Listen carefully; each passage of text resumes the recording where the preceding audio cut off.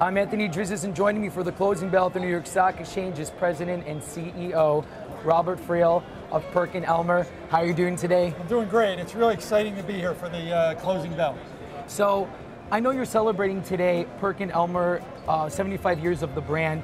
Can you tell me a little bit about Perkin Elmer's rich history and how the company continues to innovate itself over time? Yeah, I mean, you know, first of all, it's a, it's a real testament to the thousands of employees that have worked for PerkinElmer over these 75 years, really driving innovation in, in areas like analytical instruments, environmental detection, and in human health.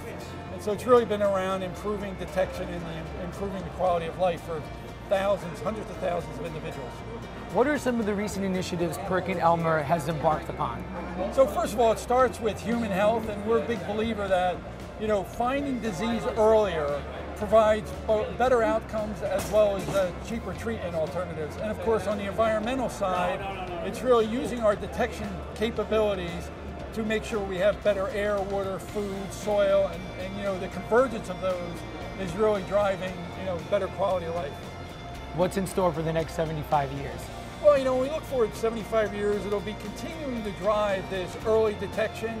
And I think more importantly, what will happen is the whole area of informatics, because as our instrumentation and imaging gets better, it's throwing off more information. And really now it's also important to make sure we understand and, and drive the data and the informatics. And so I think that's going to be more important going forward. Robert, you're about to ring the closing bell. What's going on in your mind right now? Well, it's exciting. You know, 75 years. It's just it's just terrific to be here. And again, it's a, it's a real tribute to all the employees that have worked at PerkinElmer. And of course, we've been on the New York Stock Exchange for 47 years. So it's just it's great to be here.